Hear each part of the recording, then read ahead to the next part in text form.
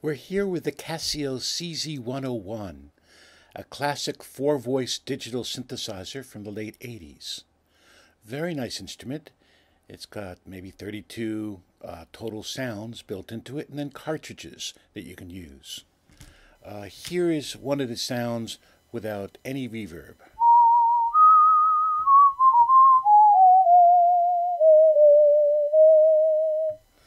The instrument did not have any built-in reverb, but today I'm going to add a little bit of reverb externally because it makes a beautiful sound here.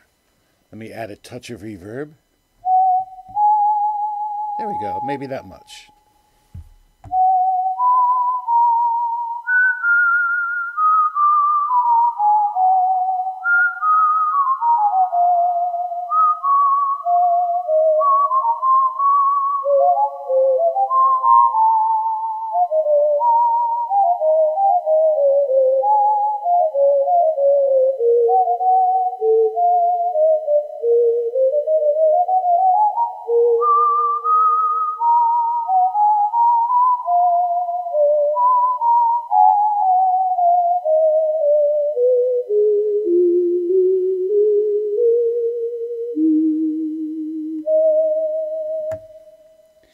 Very interesting. That's just one note at a time. Uh, let me go to an internal voice. That's a nice horn. I like the sound.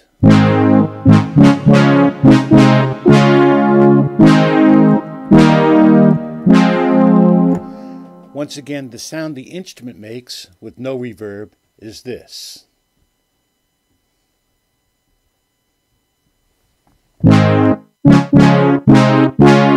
So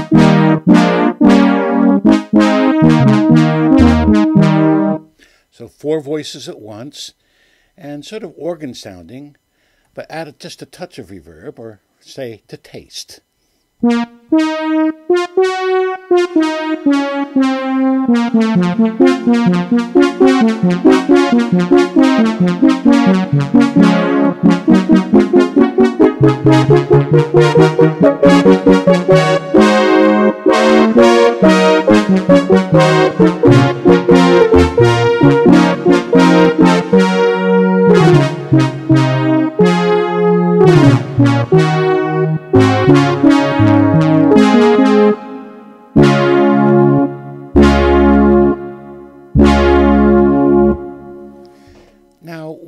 Bit of adjustment if you're playing, you can get really get used to this uh, four voice thing. You just start practicing with two voices, then add three, and then once you've done four, you just have to watch for the cutoffs. Of course, the reverb uh, smooths everything over.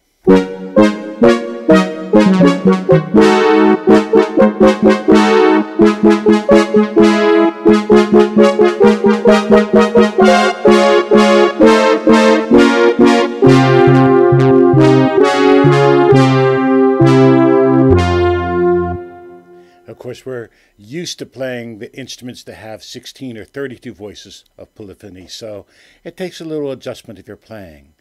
But this was a great instrument.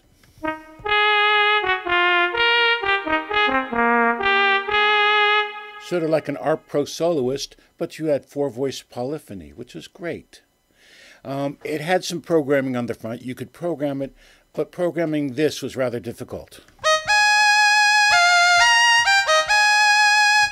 But there was a cartridge slot in the back. You could buy sounds for it and put them in. And this was much more affordable than a DX7. This really was uh, something that opened up uh, digital synthesizers to a lot of people.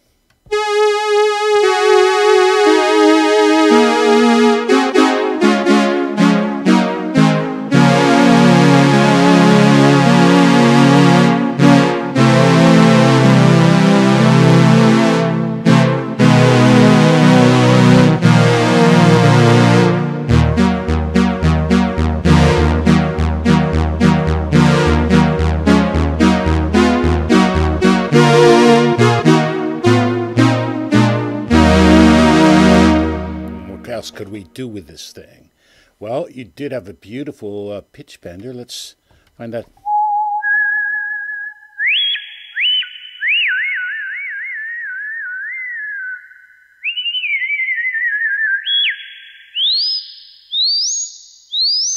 Ooh, yes, bird calls and that sort of thing.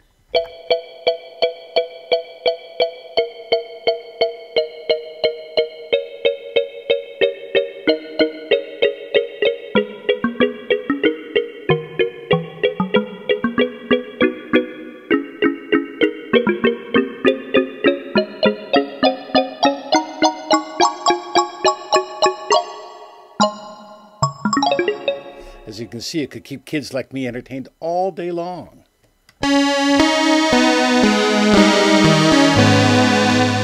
Because at this time, uh, the instruments were really frustrating to program. And to have an instrument that has really nice sounds right all built in, all you need to do is just add a touch of reverb. Well, heck, that was great.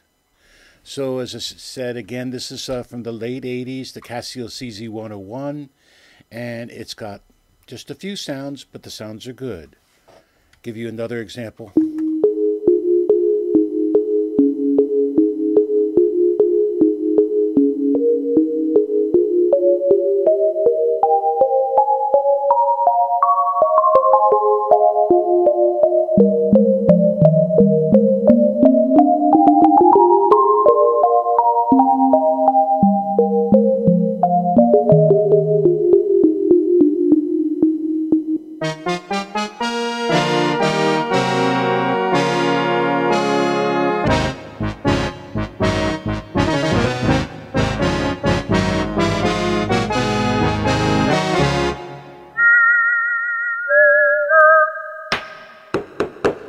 Some percussion.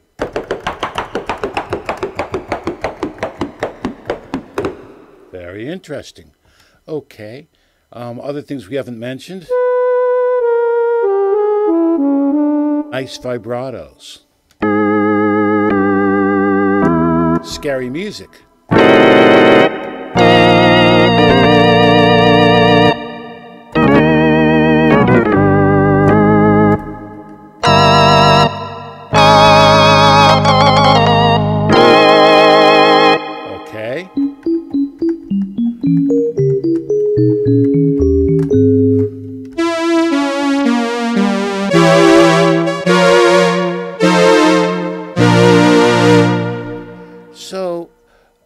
Thing that's missing here is touch sensitivity. You really love and use a lot of touch sensitivity on modern instruments, and it just wasn't quite here yet. Uh, the instruments that came after this started getting uh, touch sensitivity. It was not just loudness, but you would change timbre as you strike it harder. The DX7 had that, but it was, you know, four or five times more expensive. It was a lot more money than this.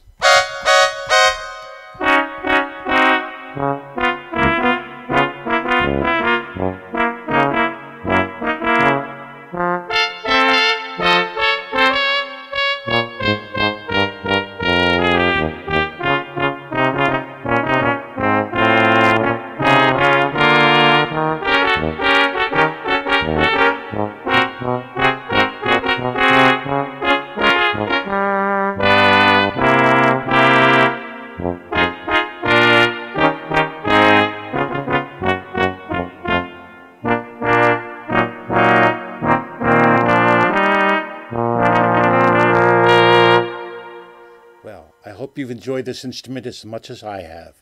A great instrument, the Casio CZ101, in the collection here at EMEAPP. We've been showing you the Casio CZ101. Here is the Casio CZ1000, the big brother of that smaller synthesizer. We have here four octaves of full-size keys, so 49 full-size keys, and a much larger panel for programming.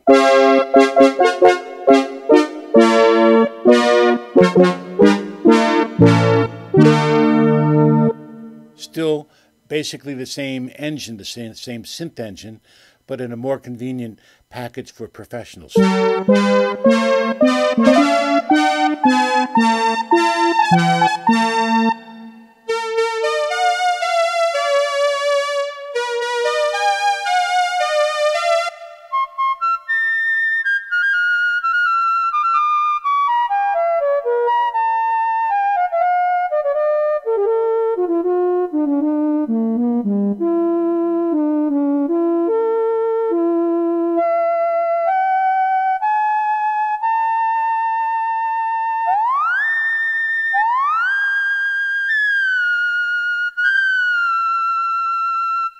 That's a little bit of portamento there at the end.